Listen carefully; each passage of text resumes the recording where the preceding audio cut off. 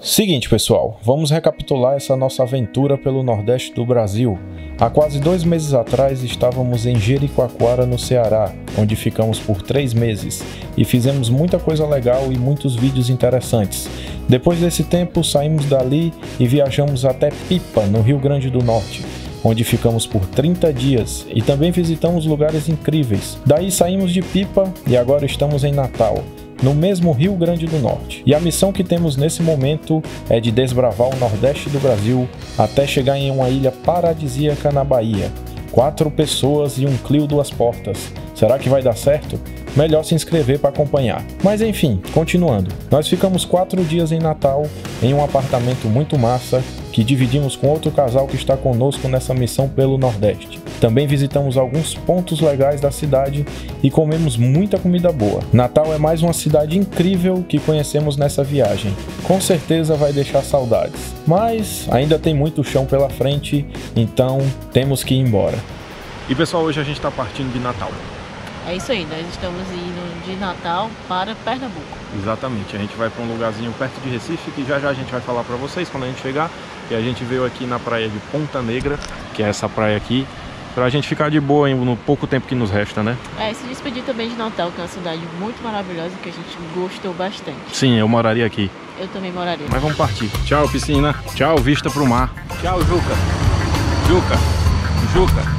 Juca. Juca. Juca. Juca. Tchau, Juca. E o Juca é um gato simpático, só não gosta muito das câmeras.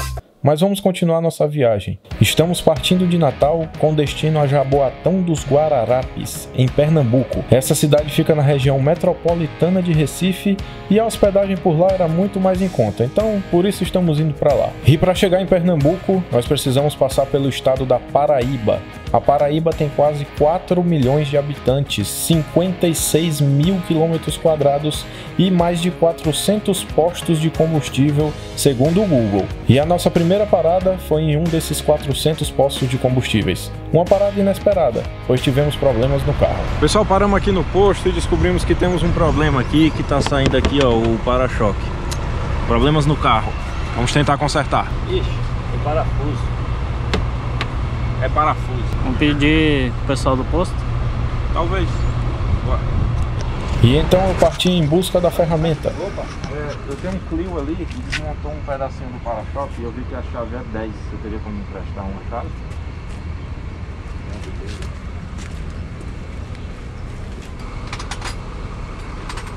Pronto, eu tô bem ali do lado da conveniência. Já já eu te entrego. Pessoal, por sorte tinha um mecânico bem aqui, ó, e aí eu consegui uma chave 10. Vamos lá tentar ajeitar. E para quem não sabe, eu trabalhei quase a minha vida toda como mecânico de carros. E a maior verdade de todas é que com a chave certa e pensamento positivo, nada pode dar errado. Pronto, agora tá firme. Podemos continuar. Vou só devolver a chave agora. É isso aí, pessoal. Não custa nada você pedir ajuda. Sempre vai ter alguém que vai querer te ajudar. Eu tava com um pouco de vergonha de pedir, mas eu cheguei lá, pedi. O mecânico era muito gente boa e deu super certo. Vamos continuar a viagem. Problema resolvido, então partimos para mais alguns quilômetros de viagem pela extensa BR-101, que liga o Rio Grande do Norte ao Rio Grande do Sul, passando por 12 estados, 3 regiões e com 4.500 quilômetros de extensão. Mas vamos deixar de informação e parar para almoçar, pois essa conversa toda deu foi fome.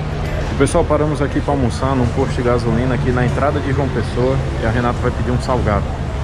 É, esse salgado aqui. E o caldo de cana. É, o salgado e o caldo de cana. E eu vou pedir um cheeseburger. Vamos lá, que eu tô com fome. A Renata pediu um salgadão aí de frango. Eu pedi um cheeseburger, x-egg, sei lá o que. Eu acho que um hambúrguer até de frango. Não esperava por isso, mas é o que temos pra hoje. Você comeu o que, meu querido?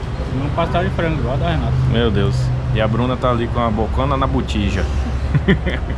vamos aqui, né? A gente foi num restaurante ali, mas não era muito bom não. Então vamos, vamos comer isso aqui mesmo. Vamos mostrar a sobremesa? Ah, e teve até sobremesa. Doce de leite. De- Doce de leite e aquele ali também. Tinha um doce de mamão, acho que eu quero um doce de mamão. É, meus amigos, esse almoço não foi o melhor de todos, mas na vida viajante, muitas vezes só encher o bucho é o que importa. Mas continuando nossa viagem, chegamos no estado de Pernambuco. O Pernambuco tem 9 milhões e meio de habitantes, mais do que o dobro da Paraíba, quase 100 mil quilômetros quadrados e 185 cidades. E finalmente nós chegamos na cidade que tínhamos que chegar, Jaboatão dos Guararapes. E chegamos lá de noite e não gravamos mais nada daquele dia. Então, esse sou eu no dia seguinte.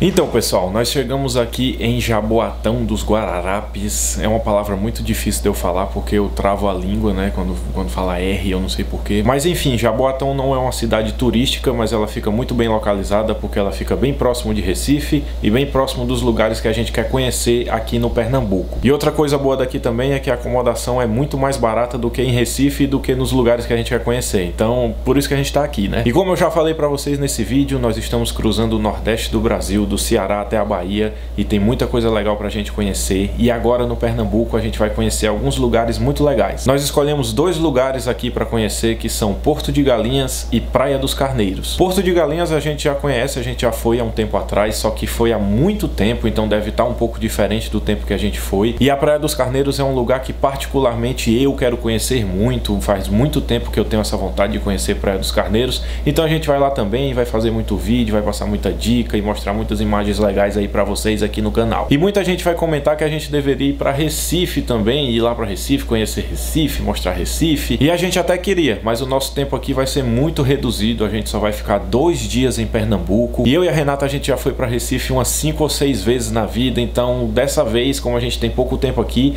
a gente vai tirar esse tempo para poder conhecer lugares que a gente ainda não conheceu, pois sabe-se lá quando é que a gente vai voltar aqui para Pernambuco, né? Então tem que aproveitar esse tempo. E a gente também alugou um apartamento aqui em Jaboatão, como a gente fez em Natal. A diária saiu super barata, saiu 150 reais para quatro pessoas, é tipo 30 e poucos reais por pessoa. E é o melhor apartamento que a gente já ficou, tem piscina e tem uma vista super massa. E a gente vai mostrar para vocês durante os próximos vídeos. Então fiquem aí porque vocês vão ver muita coisa legal. E depois de sair aqui de Pernambuco, a gente vai passar por Alagoas e Sergipe antes de chegar na ilha lá da Bahia que a gente tem que ficar. Então a gente ainda não tem roteiro ainda para Alagoas e Sergipe, então se você tiver algum tipo de sugestão aí, um lugar bom pra gente conhecer, pode deixar aí nos comentários que a gente vê se dá pra visitar. Então é isso, pessoal, tem muito chão pela frente, a gente vai ficar por aqui nesse vídeo. Deixa aí o seu like e se inscreve no canal para poder acompanhar essa aventura pelo Nordeste, essa saga nossa do Ceará até a Bahia, ok? Até o próximo vídeo, falou!